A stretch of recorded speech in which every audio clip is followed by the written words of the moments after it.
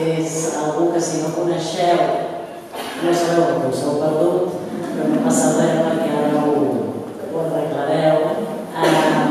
Si no heu llegit cap dels llibres de la Mariluz Esteban, pues, igual no estan aquí al museu, però alguna llibreria de Pau estaran segur i també els hauríeu de comprar tots. Us els super recomano a veure. Eh, serà una presentació molt breu, no vull robar ni un minut a escoltar eh, persones que pensen i parlen i, són de conseqüents com ella.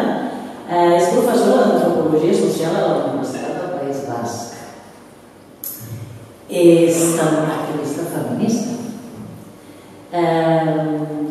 bueno, la seva recerca està en aquelles barreges, però bueno, les qüestions del cos, la salut, les emocions, li preocupen molt. Eh, no li, li interessa, perquè interessa, em sembla que hi hagi tota una distància, no, no, li, li preocupen i ocupen. Eh, jo la vaig conèixer, em va arribar a caure a les mans el seu llibre Crítica del pensamiento amoroso de l'editorial Bella Terra, en català també, gràcies a Poder, podem llegir. No.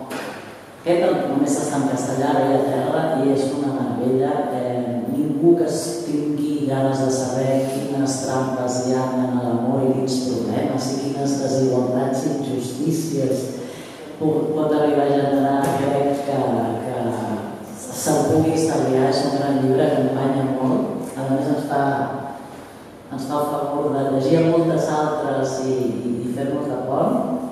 En català tenim la sort també de poder-la llegir gràcies a l'editorial Polen, que acaba de publicar fa poc el manifest de la nova dona vella, manifest de la mujer vieja, no sé, de las mujeres viejas. ¿En qué editorial está en castellano? La oveja roja. En la oveja roja. Jo he regalat a tothom, que les de la meva mare, la meva tieta, la meva padrina, la meva sogra, i és eh, meravellós. Eh, I també, evidentment, el, el, de, el llibre, com és el títol, sempre té millor, el feminisme i les transformacions de la Um, doncs res, jo quan la vaig descobrir, recordo estar llegint Crítica del Pensamiento Amoroso, que és un estudi antropológico, eh, que debería nada así, es una novela de amor apasionante que dices, no? I recordo llegir en les seves pàgines i plorar plorar, emocionar-me i plorar. Plorar quan de cop i volta hi havia una pregunta d'aquelles que dius, que et deixa clavada la cadira i dius, pot existir la dona sense reivindicar l'amor? Pot existir la mujer sin reivindicar l'amor? Eh, I la, la intel·ligència que té a assenyalar no? coses com ara que parlem tant de les cures, així, no? de cop volta dir, com més cuida una dona, i jo sempre dic, Mariluz podria dir, quanto más ama, no? No, no, quanto más cuida, però com que aquestes cures tantes vegades fem en nom de l'amor, quan Tomàs, eh, quan més cuida una dona, més està col·laborant a la seva manca de reconeixement social i al seu empobriment econòmic.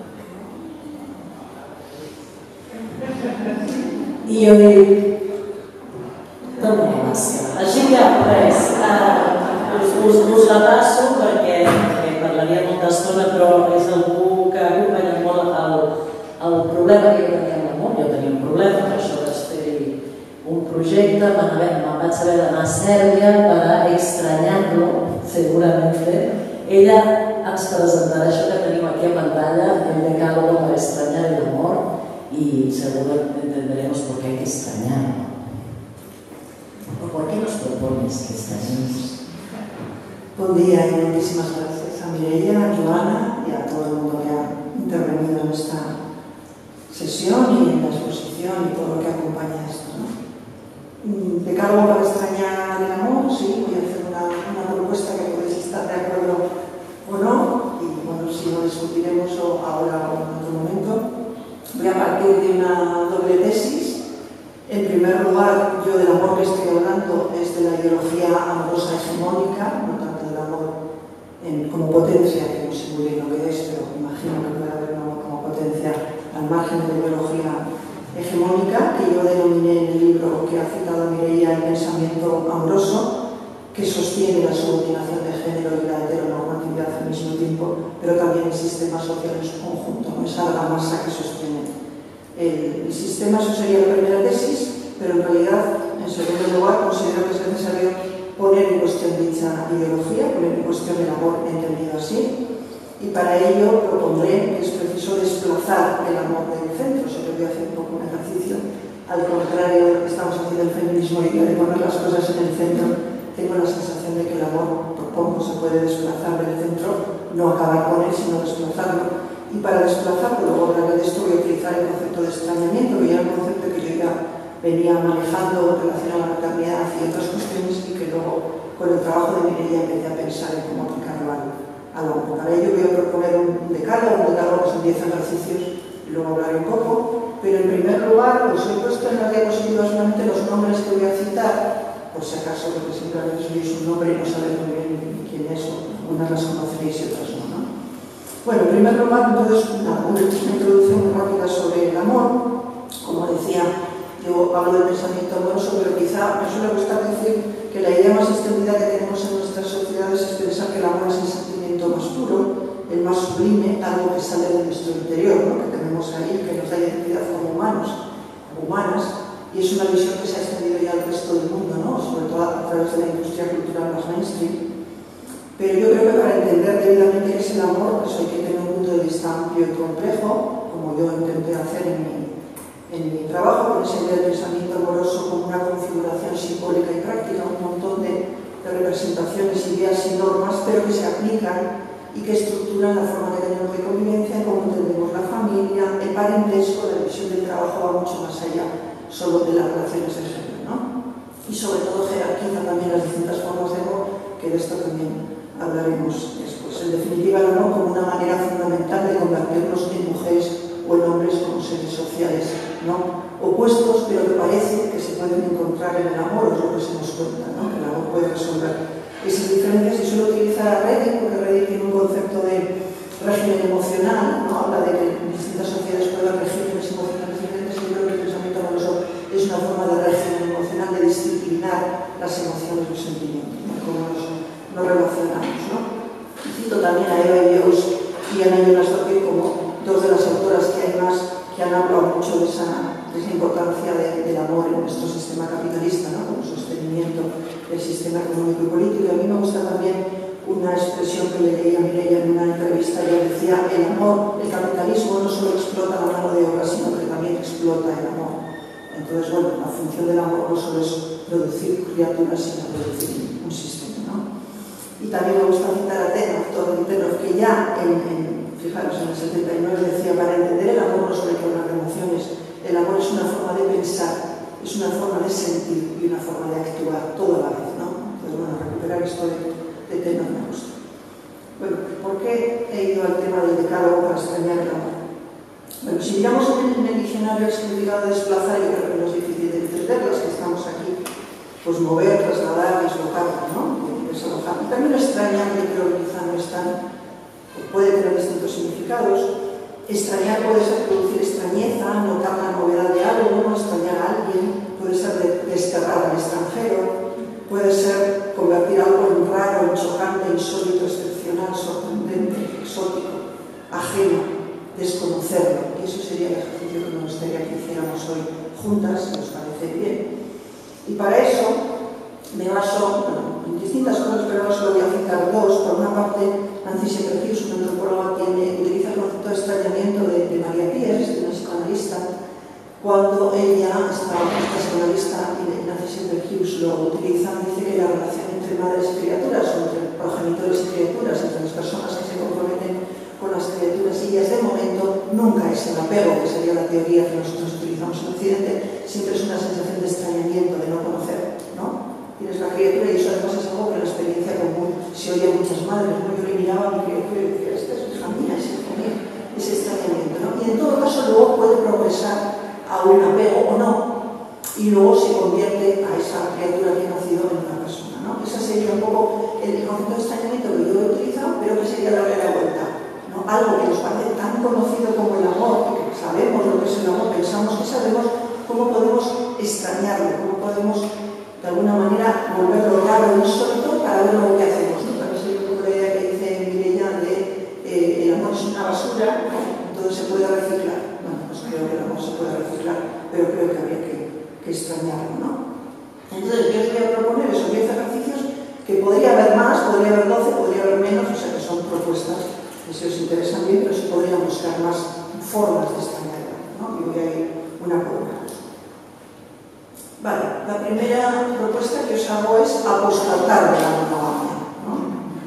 Lo que voy a hacer también en esos 10 ejercicios es acompañarme de autoras o de eh, escritoras de ficción, porque también me interesa hacer un ejercicio donde no solo las autoras hablemos con autoras y las artistas vayan por otro lado y las escritoras por otro, sino intentar también hacer como diálogos entre distintas disciplinas o distintas producciones. ¿no? En este caso me acompaño de, de la conoceréis todas, y su libro del 18, ¿no? Pensamiento monólogo del terror poliamoroso, si no lo conocéis, pues creo que es un libro que merece la pena conocer. Y Vasallo es tomar la monogamia como un sistema, ¿no? Analiza la centralidad que la ideología monógama tiene en nuestra, en nuestra sociedad históricamente, analiza también de alguna manera el problema que tenemos con la poligamia, también dentro del feminismo, parte del feminismo que hacemos en Occidente, sobre todo, deben entender y además de valorar un peor la, la poligamia. ¿no? Y también eh, hace un señalamiento que me parece importante sobre la monogamia, que es, ella dice, lo importante de la monogamia no es la exclusividad, cuando pensamos en la monogamia pensamos en la exclusividad. Lo importante de la monogamia es que estructura una jerarquía entre, distintos tipos de amores. ¿no? Entonces, el, amor de pareja o las relaciones sexoafectivas, si queréis, se pone en la pirámide, ¿no? en, en, la cumbre de la pirámide, y luego detrás vendrían todas las demás es verdad que si pensamos, por ejemplo, en el amor materno, eh, en ciertos momentos de la vida incluso el amor materno puede ponerse por encima del amor de pareja o equipararse, pero en general diría en conjunto que la pareja está mucho más en, la cumbre y quería señalar esa jerarquía como algo que hay que deconstruir. Su propuesta sería de construyamos el tema de la idea de la monogamia y construyamos todo lo que la monogamia influye no solo en las relaciones personales, que también, sino cómo estructura la vida, por ejemplo, lo que tiene que ver con el urbanismo, con la arquitectura, con la vivienda, ¿no? Todo está estructurado en relación a, a la pareja y a la, y a la monogamia. Bueno, a mí me interesa mucho su, su, planteamiento y el planteamiento de otras autoras que están hablando ¿no? sobre la monogamia. Yo también trabajé con el tema de la gente del pensamiento amoroso, pero me parecía que podíamos ir un poquito más allá y me gustaba la, el concepto de apostasía. ¿no? El concepto de apostasía, como ya sabéis, sería, se utiliza por ejemplo para las religiones, negación de una fe o abandono de las creencias en que una ha sido educada, ¿no? Sería un poco esa idea. Mm, habría apostasía y habría herejía. Permitidme que juegue con esas dos palabras. La herejía, frente a la herejía, la apostasía supone un abandono o negación total de la doctrina original.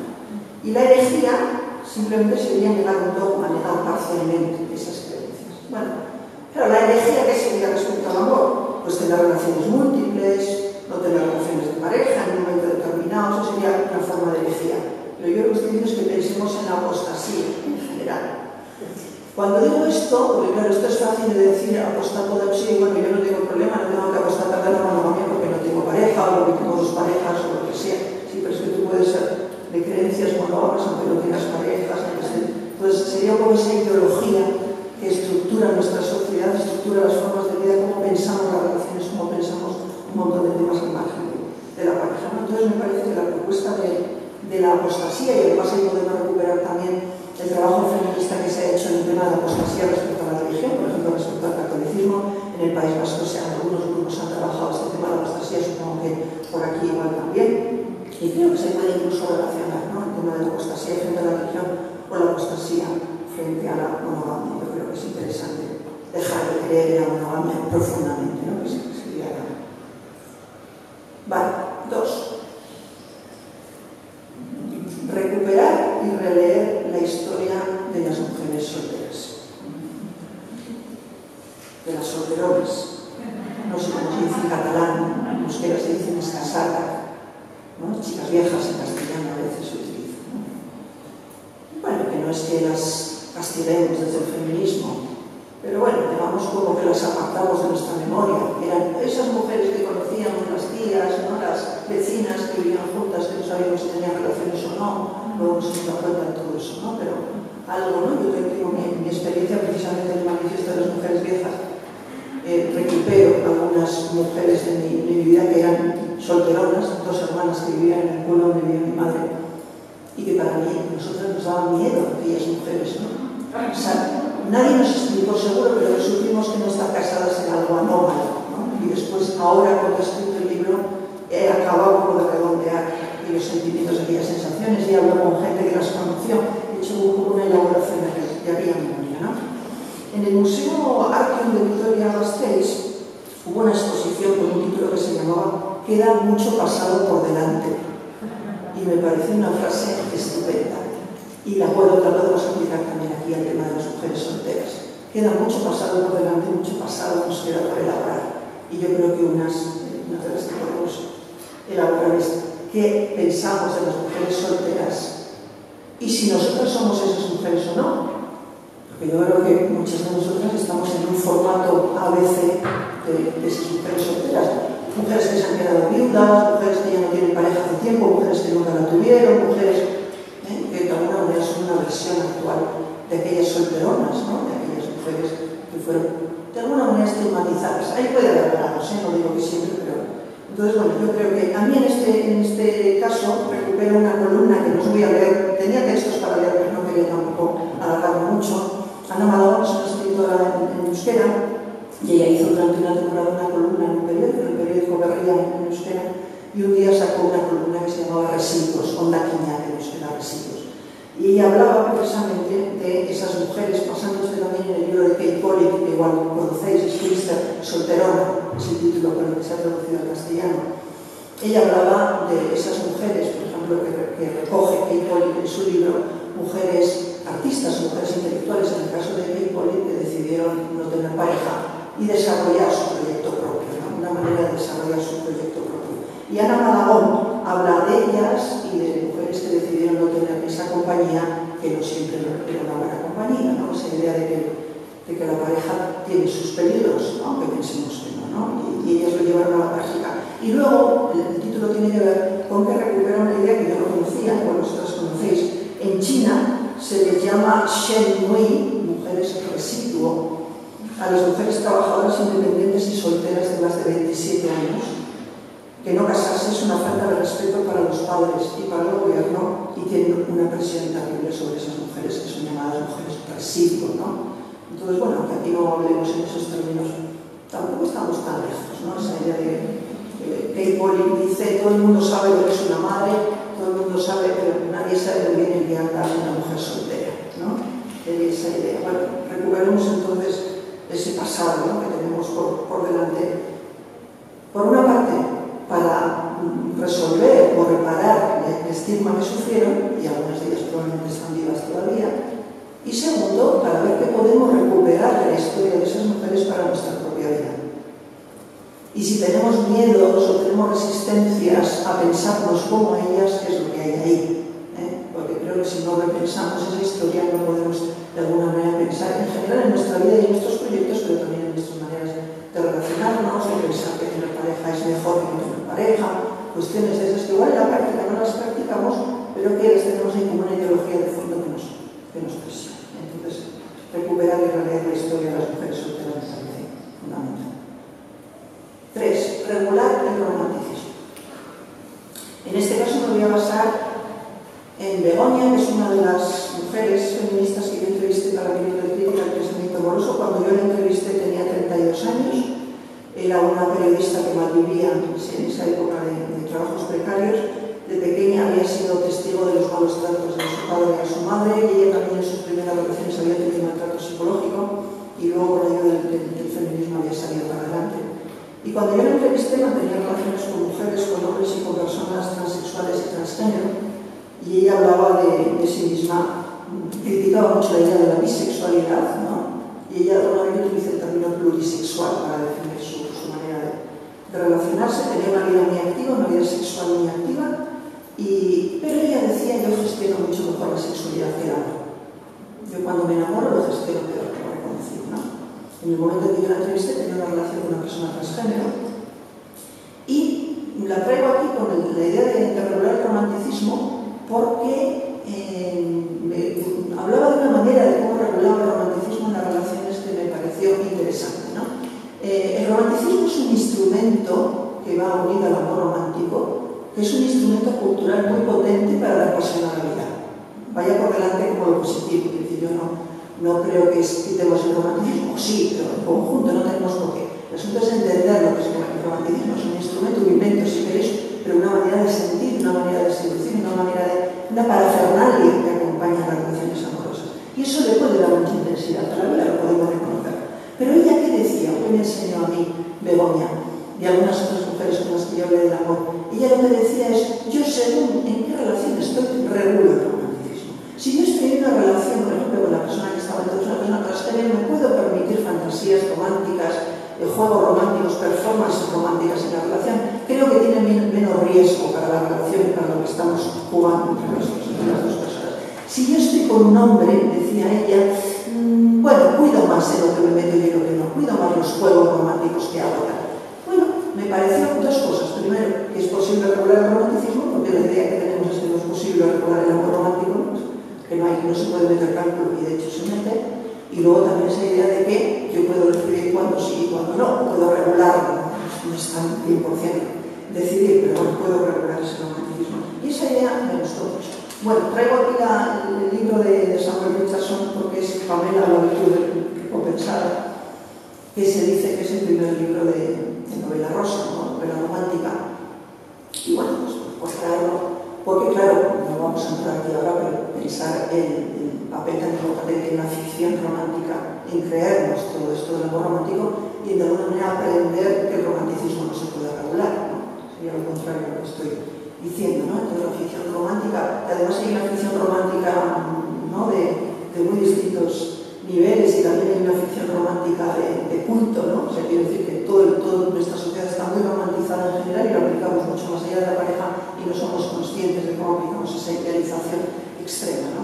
Bueno, pues con las, con las mujeres que yo, que yo hablé, y es una de las principales, me, bueno, me ayudaron a pensar que quizás sí podemos regular el romanticismo y utilizarlo momento para darle intensidad a lo que estamos viviendo, pero sin, sin creernos. ¿no? ¿no?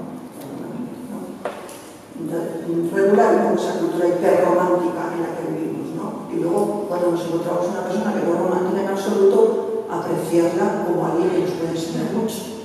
¿eh? No alguien que está abandonando el amor, que lo que pensamos es que ella no cuida el amor, no es lo que decimos a de las amigas, es que ¿no? se preocupa mucho de las cosas, pero del amor, ¿no? Bueno, pues esas personas son una joya de nuestra, cultura, ¿no? Bueno, entonces se puede regular el, el amor, Vale. Incluso el amor, el romanticismo puede ser una forma de resistencia o ir al extremo de lo que ¿eh? Bueno, vamos a entrar en una pequeña paradoja, pero creo que vais a entender por dónde, ¿no? El romanticismo como resistencia. Y aquí me baso en dos autores. Bajodin tiene un libro que yo no conocía, pero bueno, pues encontré el tema del amor lo encontré, Suicidio y el canto, poesía popular de las mujeres pastún de Afganistán y Abu Lila Bulubov es una antropóloga que hizo un trabajo, veis que ya tiene unos años, ¿no? en, en la sociedad beduina en Egipto y tiene un libro que se llama Weight Sentiments y un, artículo, el, romance de la resistencia. ¿no? ¿Y de qué hablan estos autores? Eh? ¿Por qué digo yo, por qué esta, este cuarto ejercicio es el romanticismo puede ser también una resistencia? puede enseñarnos a no olvidarnos de nosotros mismos, pero puede. Sobre todo estos autores están trabajando en contextos culturales concretos. Sería también esa idea muy antropológica de que no podemos hablar de ciertos temas sin pensar en qué contexto estamos hablando. Entonces, en ciertos contextos, estas dos obras hay más autores que han trabajado, más autoras, el amor puede ser un discurso subversivo, dice Lina Bulúa, puede ser un discurso de resistencia o ponerse frente a un sistema que deja a las mujeres en mal lugar. ¿no? En concreto, en el tema de las mujeres pastún, este autor lo que cuenta o habla es de los poemas amorosos llamados landai, que utilizan las mujeres pastún, que son totalmente prohibidos. Son poemas que tienen un ritmo muy landai también de finales, que tienen un ritmo muy rápido y hablan de amor, de honor, de muerte, de rebeldía, en un contexto donde el amor es tabú y está absolutamente prohibido, ¿no? Y te pueden matar si, si, si estás recitando poesía amorosa. Y estas mujeres lo hacen como un discurso de resistencia, incluso están, se suicidan por, por, esa idea del amor. Eh, estas mujeres, lo menos las mujeres de las que trata el libro, ¿no? me atrevería ahora a generalizar, tienen un doble dominio físico son las que hacen las tareas más duras y moral, porque son consideradas humanas de segunda categoría y ellas se refugian de alguna manera en, en los poemas amorosos como una forma de resistir, una manera de...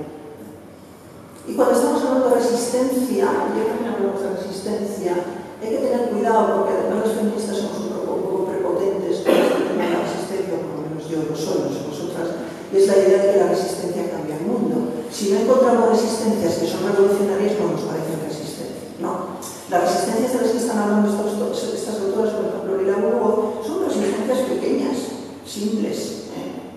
bueno, muy diferentes de las resistencias que tenemos nosotras, que son resistencias parciales, que sirven o no sirven en el momento concreto. Sería pensar la resistencia de esa manera. ¿no?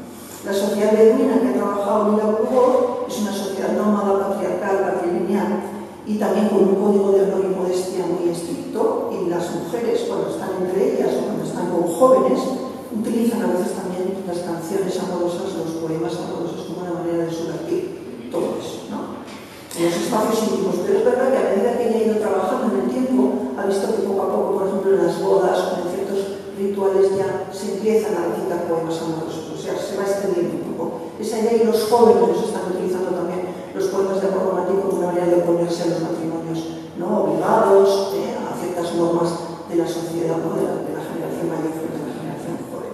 Entonces, bueno, esta, esta idea de que el romanticismo, según en qué contextos, en un momento determinado, puede ser una resistencia que interesa. Claro, podéis pensar, bueno, sí, ya veremos lo que está el romanticismo. Bien, pero es verlo de una manera más compleja, ¿eh? no hacer lecturas simplistas tampoco del amor, ¿no?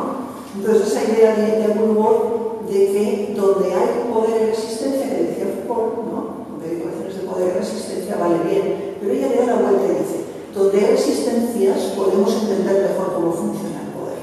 ¿no? La resistencia nos da pistas para entender también cómo funciona el poder, qué es lo que está pasando ahí en las relaciones de poder. ¿no? Entonces, bueno, en las resistencias amorosas, los poemas amorosos también nos dan pistas sobre qué tipo de, de sociedades y cómo están cambiando esas sociedades. Yo creo que tanto las mujeres como Begoña, que, citaba en el anterior punto, las mujeres pastón y las beduinas, están exploradas.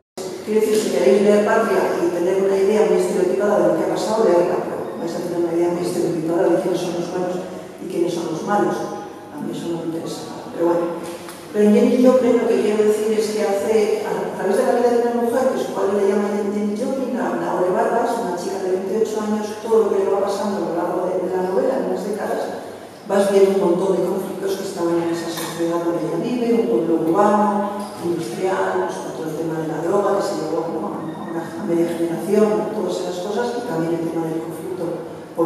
armada, todas esas cuestiones. Pero al hilo de esa historia, eso la traigo, ella empieza una relación con un chico, Luca Moretti, se llama el protagonista, que es un chico no hegemónico, masculino no hegemónico, digamos, por decirlo de una manera rápida, y establece una relación que en un comienzo no es nada romántica. ¿no? Son amigos, empiezan a tener una relación de pareja, pero no es romántica. Es verdad que al final de la novela, si la leéis, diréis, bueno, yo digo romántica, al final romantiza un poco el final. Pero bueno, durante gran parte de la novela es una relación amorosa distinta. Y a mí eso me interesó mucho. Contar el compromiso, la relación entre ellos y lo que está pasando, están pasando cosas importantes. Entonces eso me gustó. Y, y ella Rodríguez eh, la traigo también por eso, Dios también un corazón de más amor, es el título también del primer cuento, y cuenta la relación de una pareja que se divorcia, deja de tener relación, pero ha sido un divorcio muy malo, y al cabo de unos años el padre enferma y la hija quiere que la, madre cuide a, otra vez al, padre, a su padre, porque no, no, tiene a nadie que le cuide, y ella está empeñada. Entonces, bueno, se acercan otra vez. Inician una relación en esa, en esa enfermedad tan grave, cuando inician una relación, esos dos que están separados, distinta. Una relación que yo creo que se puede decir una relación amorosa, pero que no tiene nada que ver ni con la relación que tuvieron ni cómo entendemos la pareja. Y lo explica además con una figura de detalles. Me gusta muchísimo. ¿no? Pero, bueno, primero, eh, es posible el amor después del desamor, que eso es que en el libro y que la defiendo, ¿no? Es posible el amor después del desamor, pero puede ser un amor muy distinto, un amor articulado distinto, ¿no? Entonces, yo creo que estas dos autoras nos dan pistas sí, nos dan el discurso completo, pero nos dan pistas. Bueno, seguimos. Seis.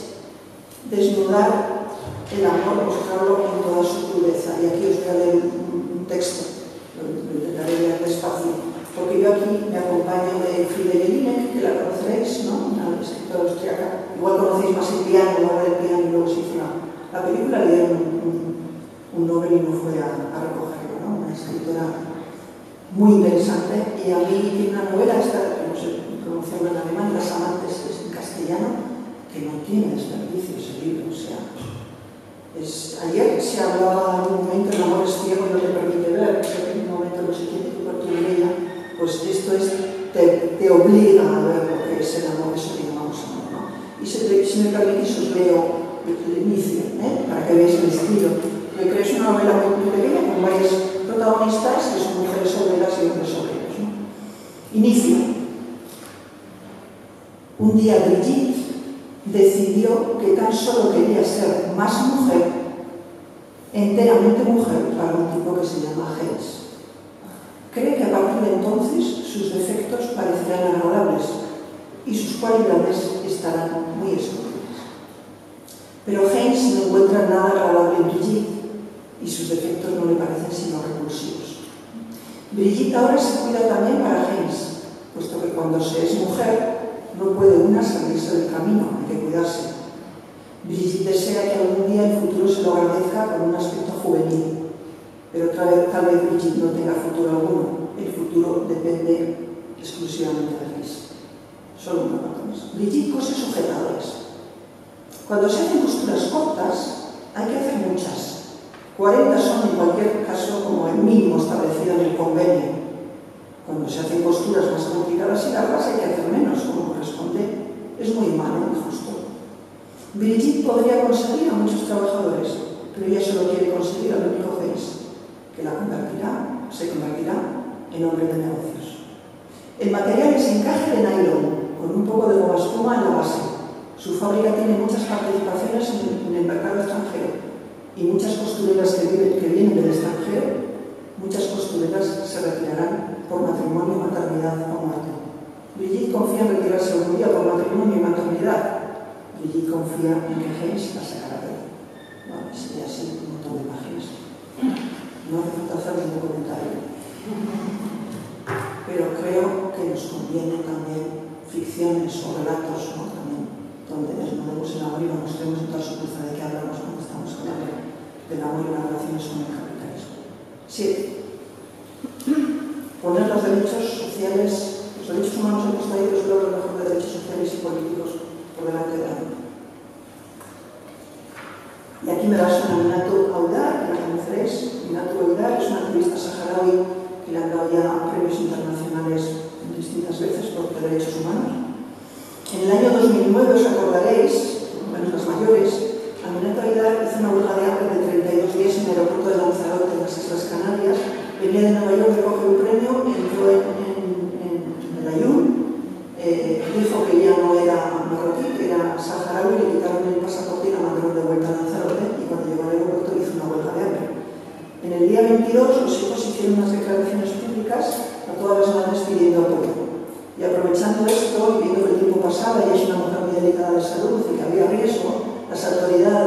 le dijeron, por favor, piensa en tus hijos, deja la huelga de hambre.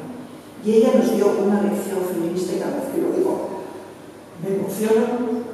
Ella respondió diciendo que sus hijos podrían vivir sin su madre, que tenían gente alrededor para hacerse cargo de ellos que estarían muy bien cuidados, pero que sus hijos y ella no podían vivir sin dignidad y sin derechos. Nada más. Y yo pensé, nos ha dado una lección sobre maternidad, sobre política, sobre que no sé si le hemos aprovechado pero ella nos la dio, me parece. Y creo que es un discurso que se puede utilizar mucho, no, no tengo tiempo, para pensar en el tema de la maternidad, la inmigración, la maternidad, esta idea de que si no hay madre, ¿no? los hijos se van a perder, bueno, todas esas cosas que de distintas miradas, pero que creo que ahí también estamos simplificando un poco el tema de la maternidad, me parece. Poner los derechos sociales y políticos por delante del amor, ¿no? me parece un buen ejercicio. Ocho, y aquí yo diría, colocar el, amor en contextos extraños y reciclarlo, intentar reciclarlo. Y esto yo lo pensé, en este caso, pues me acordaba de, la exposición de Elías ayer sobre el amor en Serbia, Caumaro de Natlano, se dice, un poco de agua en la palma de la mano.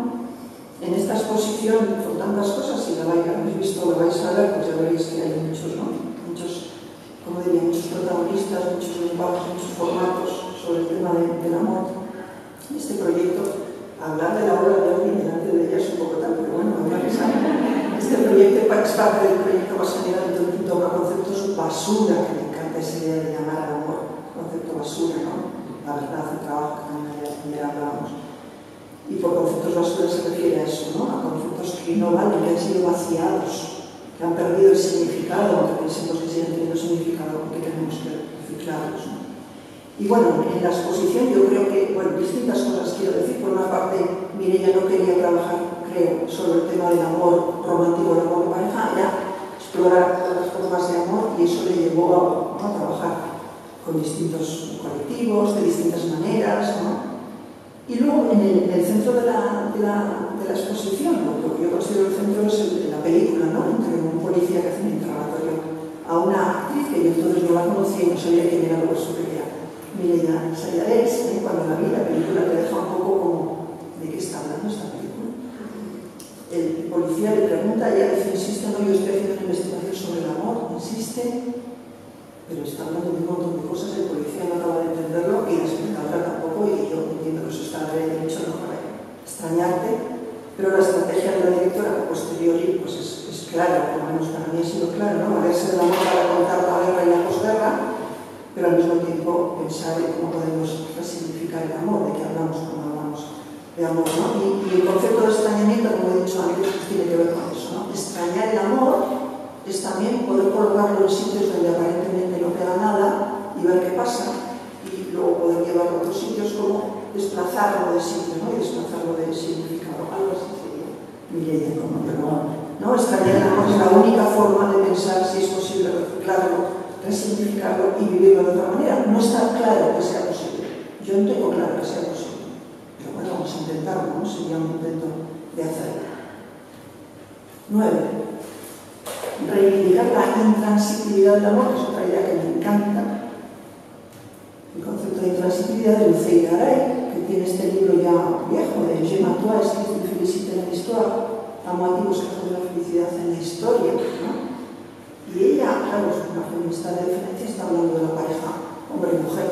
Se puede llevar de cualquier forma de amor, ¿no? aunque la pareja eh, representa muy bien lo que ella quiere decir. Entonces nos ofrece una idea muy interesante del amor y del reconocimiento con esa expresión de amo a ti, no te amo. Ella reniega de, la idea de te amo, porque la idea de te amo es que yo te poseo cuando te amo, ¿no? Hago ese ejercicio de poseerte. Y está en contra, todo su, su, es, es un texto poético, eh, barroco, es un texto especial, pero bueno, creo que es un texto muy, muy interesante. Os leo, si queréis, un fragmento pequeño amo a ti significa mantengo contigo una relación de indirección. No te someto ni te consumo. Te respeto como irreductible. Te saludo, saludo en ti. Te alabo, alabo en ti. Te doy las gracias, doy gracias a ti. Te bendigo. Te hablo, te hablo a ti. La A es la garante de la indirección.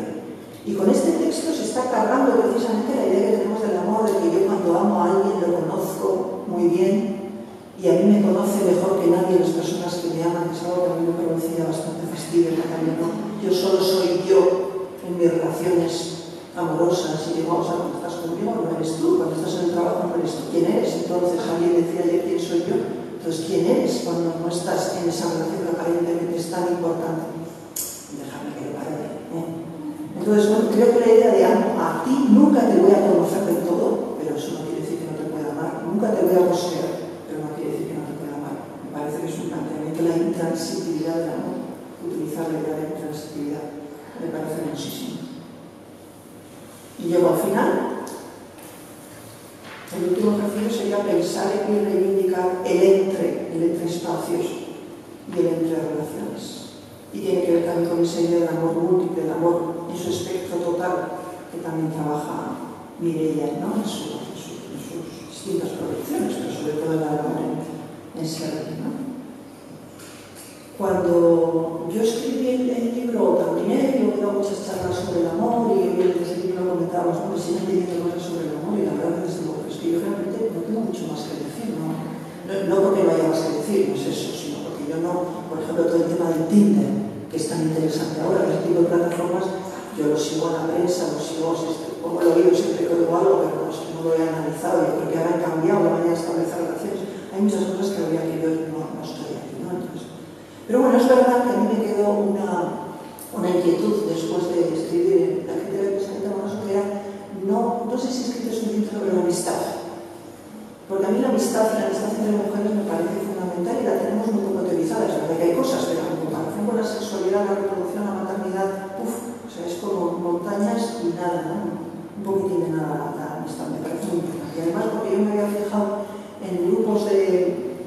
yo me había fijado en, en grupos que yo llamé comunidades redes de apoyo mutuo, que eran mujeres, también podía haber hombres, pero normalmente los hombres están en la periferia, mujeres que mantenían relaciones entre sí, que no convivían, o no obligatoriamente, que no mantenían relaciones sexuales entre ellas o no obligatoriamente, que no tenían, todas no tenían hijos ni los criaban en común, o sea que no cumplían las, las características que tenéis que cumplir para entender el amor romántico, el amor de pareja, ¿no? el amor en el, en el centro de nuestra sociedad, o sea, no cumplen todas esas condiciones, pero son parentescos, son familias, son redes de solidaridad, ¿no? Y a partir de ahí recuperé un poco, ahora solamente lo voy a resumir, recuperé un poco la teoría del parentesco, que en antropología es muy importante, porque se le ha dado mucha vuelta a cómo se define el parentesco, porque claro, las relaciones de parentesco en el mundo son de muy diferente manera y se comparten muy diferentes cosas, y, hoy día ya hay antropólogos que dicen ser pariente es considerarte o reconocerte solidario frente a otras personas. es un grupo que se y. No es más. Se comparten cosas y, tiene solidaridad y reciprocidad. Fijaros, entonces, claro, es una definición muy amplia. Bueno, aplicaba esa definición de parentesco también a estos grupos de, apoyo mutuo de mujeres feministas. Insisto de mujeres feministas, no tanto porque no crea que haya grupos de apoyo mutuo de gente que no es feminista que pueden ser fantásticos, sino porque puede haber un plus en los grupos de apoyo mutuo feministas que es ese compromiso con la emancipación propia de las otras. Yo suelo decir, si me permitís decirlo así, yo a veces cuando tomo una decisión, igual no la he compartido con mis amigas, pero yo sé que mis amigas están detrás, me apoyan, me apoyan material o simbólicamente, sé que están conmigo y eso es importantísimo en la vida, saber que tienes gente que te apoya en esas decisiones. Entonces sería ese tipo de compromiso en esas redes, ¿no? esas redes de iguales que no tienen por qué compartir, pero que pueden compartir luego cosas que a veces no le damos importancia, aparte de compartir cuidados, pero muchas más cosas, ocio, tiempo libre, actividad política, cosas que son la vida también, sin ser los cuidados, sin ser sexualidad, sin ser crianza. ¿no? Entonces, bueno, toda esa idea de coger un poco, mm, revisar la idea del parentesco me interesaba. Pero bueno, ¿por qué voy al entre? ¿no? Porque puedes decir, el entre dónde está. Bueno, es verdad que estamos revisando, en el, feminismo se ha revisado mucho distintos espacios ¿no? que se ponen en relación, el tema, por ejemplo, de los cuidados, otros temas y se habla ya de que el Estado, la comunidad, el mercado, los hogares y las relaciones.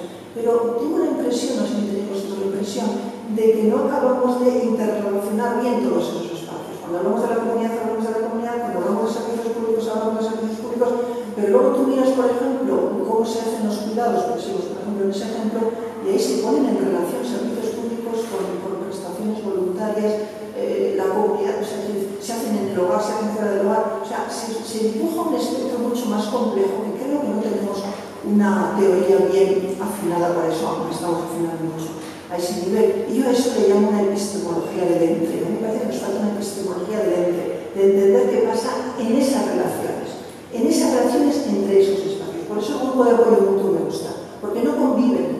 En realidad no existen en ningún sitio, oficialmente no existen Tú no tienes un, registro en el ayuntamiento para decir yo tengo un grupo de apoyo mutuo con 10 personas. No tienes, no existen, no existen, ¿entendéis? ¿no? Tendríamos que pensar si hay que sancionarlas o darles un registro. No existen, pero ahí es donde se está produciendo la vida, ahí es donde se está produciendo la, posibilidad de cambio, la posibilidad de vida y de resistencia. entonces me parece que eso, esa epistemología del derecho tendríamos que, que desarrollarla.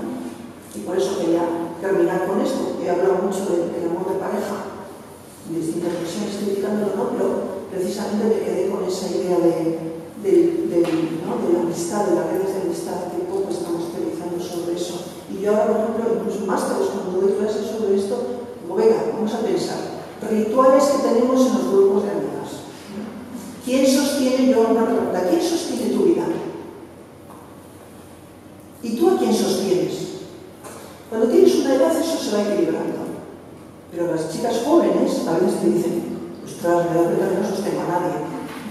Yo les digo, bueno, tranquilas, la vida ya os hará sostener. Pero claro, si estás muchos años sin sostener a nadie, a ti te están sosteniendo, en fin, puede ser muy feminista, pero algo está pasando. ¿no? Entonces, bueno, preguntas aparentemente sencillas que dan para hablar y dan para debatir y pensar en esas relaciones más allá de, la pareja, más allá de, otras cosas. Bueno, eso es básicamente lo que os quería contar. Os leo los 10 puntos. Apostatar la monogamia, recuperar y releer la historia de las mujeres solteras, la nuestra, por el regular el romanticismo, poder regularlo, el romanticismo como resistencia, según qué contextos, dentro de toda la vida del romanticismo, mucho riesgo. Ficcionar amores no románticos, desnudar el amor, que alguien, por favor, de mí, que, que, que regalo nos trabajos, ¿no? mostrarnos su crudeza, de eso estamos hablando, cuando estamos hablando de pareja y amor, poner los derechos sociales y políticos por delante del amor colocar el amor en contextos extraños y ver si podemos reciclarlo, pero es una buena condición. Reivindicar la transitividad del amor no es transitivo, es intransitivo, puede serlo, y pensar en reivindicar el